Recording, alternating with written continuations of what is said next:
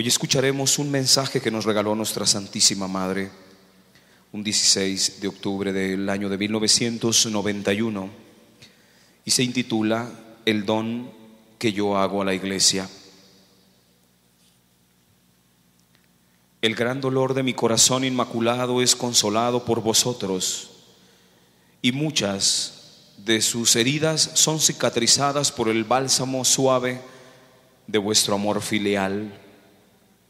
Yo estoy siempre con vosotros, me uno a vuestra oración, construyo entre vosotros una mayor capacidad de comunión y de amor recíproco.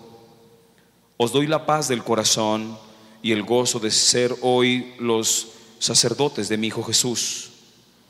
Quiero hacer de vosotros los instrumentos de mi ternura maternal, los apóstoles de mi triunfo, el don que yo hago a la iglesia en estos tiempos de su purificación y de su gran tribulación.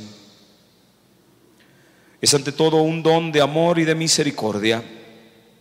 Ved, hijos míos predilectos, qué grande es su abandono, qué profunda es su desolación. La iglesia sube hoy al Calvario llevando una pesada cruz. El espíritu del mundo ha penetrado en su interior y se ha difundido por todas partes.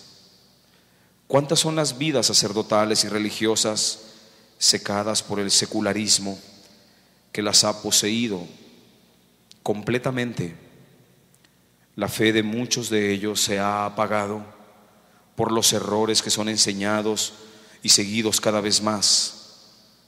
La vida de la gracia es sepultada por los pecados que se cometen, se justifican y ya no se confiesan más. Su corazón se ha hecho esclavo de tantas pasiones desordenadas que ya no es capaz de sentir el gozo y la paz. Sacerdotes consagrados a mi corazón inmaculado, sed vosotros la expresión de mi amor maternal, de mi gran misericordia. Amad a estos hermanos vuestros con el buen ejemplo, con la oración, con el consejo, aceptando con amor por ellos todos los sufrimientos que el Padre Celestial os manda. Entonces toda la iglesia sentirá el consuelo que por medio de vosotros le da la Madre Celestial y así será ayudada a llevar su gran cruz hacia el Calvario. Es también un don de consuelo y esperanza. Por medio de vosotros la iglesia sentirá de manera cada día más fuerte la presencia de la Madre Celestial y la presencia de la Madre llevará a la iglesia la gracia de una renovación total, haciéndola finalmente salir de la larga noche en la cual se encuentran hacia el día luminoso de los tiempos nuevos que están por llegar. Así la iglesia será consolada al ver reflorecer la fe en todas partes, renovarse la esperanza, dilatarse la caridad y difundirse una gran santidad. Sed vosotros, hijos predilectos, las flores que se abren sobre el árbol de vuestra vida de consagración a mi corazón inmaculado, para hacer descender en el inmenso desierto de hoy el rocío celestial de la esperanza y del consuelo maternal. Es sobre todo un don de salvación. ¿Cuántos son hoy los hijos míos que corren el peligro de perderse? Qué numerosos son los alejados los ateos, los pecadores, las víctimas del mal, del egoísmo, de la violencia y del odio. Mirad los millones de niños inocentes que son matados en el seno de su madre, los jóvenes encaminados a las malas experiencias de la impureza y de la droga, las familias destruidas, los enfermos, los pobres, los abandonados, los desesperados. Por medio de vosotros, mis hijos predilectos, debe llegar a todos mi ayuda de madre tierna y preocupada por llevaros a la salvación. Recoged con vuestras manos sacerdotales a estos hijos míos caídos, descarriados y dispersos, y llevadlos a todos al redil maternal de mi corazón inmaculado. Sed luz y seguridad para todos aquellos que forman parte de otras confesiones cristianas e indicadles el puerto en el cual deben entrar para realizar la voluntad de mi Hijo Jesús, la Santa Iglesia y Católica, que tiene al Papa como fundamento y guía seguro. Os confirmo que después del triunfo de mi corazón inmaculado, en estos países vuestros quedará solamente esta verdadera y única iglesia. Salid con gozo de este cenáculo. Yo estoy con vosotros. Llevad a todas partes el carisma de mi presencia y la luz de mi gloria. Con vosotros, seres queridos, con todas las almas que os han sido confiadas, os bendigo en el nombre del Padre y del Hijo y del Espíritu Santo. Hoy hemos escuchado, mis hermanos, una enseñanza muy hermosa, muy tierna de María, nuestra Madre, que va por el camino de la eclesiología, nos habla de la iglesia. Es importante, hermanos, que nosotros vayamos entendiendo por iglesia eh, algo vivo, entendernos a nosotros como la iglesia, ver a Cristo como la iglesia, ver nuestra parroquia como la iglesia, ver los sacramentos como la iglesia. Poco a poco hemos ido cayendo en una mentalidad demasiado fría sobre la iglesia y se le percibe como, como una institución, como una institución meramente histórica, estructurada por eh, las cúpulas clericales, el Papa, los obispos, los sacerdotes, todos los consagrados. Es importante que comencemos a ver a la iglesia como lo que es nuestra madre. La iglesia es nuestra madre. Y ella nos ha dado a luz a través del bautismo y por medio de ella hemos sido incorporados a la familia de Dios.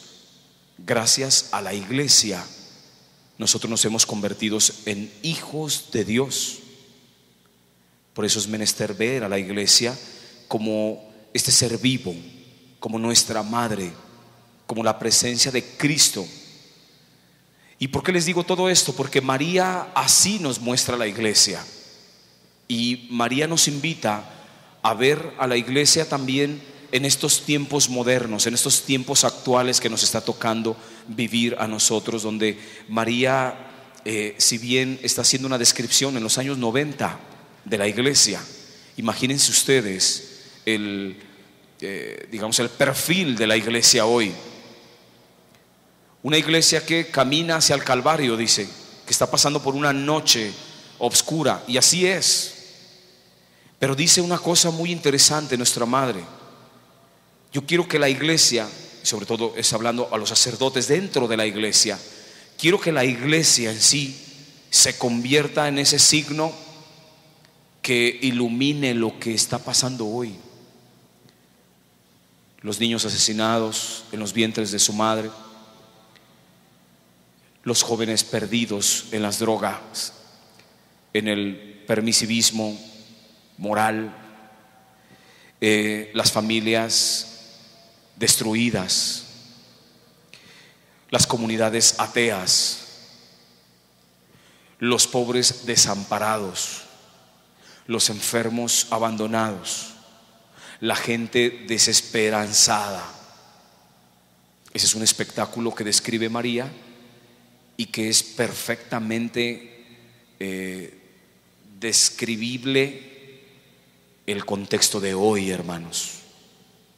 O sea, embona muy bien en lo que estamos nosotros percibiendo hoy. Una realidad eh, que está sometida a los poderes mundiales, en donde se vuelve el ser humano tan manejable, en donde se ve controlado el ser humano donde se ve obligado a muchas cosas que no le permiten desarrollar su vida como ser humano. Un ejemplo es lo que estamos viendo hoy a nivel mundial, una situación de una terrible imposición de las mentes poderosas del mundo, los poderosos, que manejan el mundo a merced de sus criterios y que quieren llevar a la humanidad a los fines muy particulares de ellos. Esto nos está tocando vivir y la iglesia está metida en esta historia, hermanos. La iglesia está padeciendo su propia realidad. Y aquí es donde María nos invita a que la iglesia se convierta en un lugar donde es atendido el enfermo, donde la gente que está desesperanzada o desesperada encuentre paz, donde la gente que está metida en la vida de pecado encuentre la gracia, donde la familia que se encuentra destruida se reestructure en la iglesia. La iglesia debe ser eso, un signo de consuelo, de paz, de esperanza, de alegría, de saber que se avecina el triunfo. Dice nuestra Madre Santísima siempre en todos sus mensajes, al final mi corazón va a triunfar. Porque así está dicho, hermanos. No es una ocurrencia de María. Eso lo dijo Dios, hermanos. Es una sentencia de Dios desde prácticamente la creación del mundo.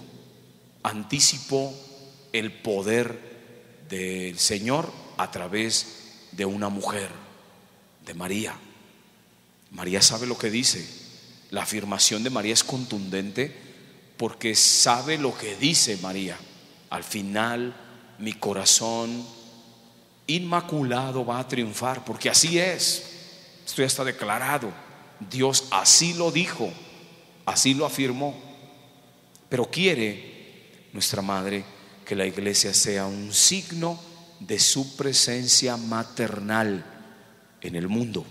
La madre siempre es consuelo, la madre siempre da seguridad, la madre siempre alivia, la madre siempre genera comunión, la madre siempre genera ternura. Y eso es lo que quiere ser María en la iglesia para nuestros hermanos. Por eso, hermanos, hoy, en esta tarde,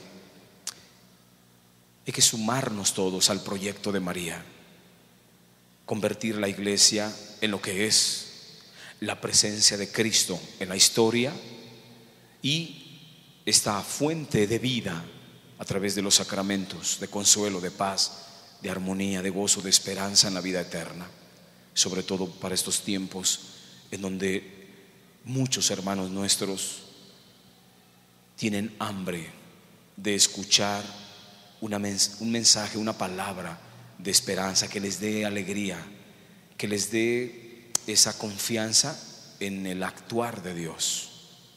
La última palabra no la tienen los poderosos del mundo, los que controlan y manipulan el mundo. La última palabra siempre la tiene Dios. Y María nos invita hoy a confiar en la última palabra que es la de Dios.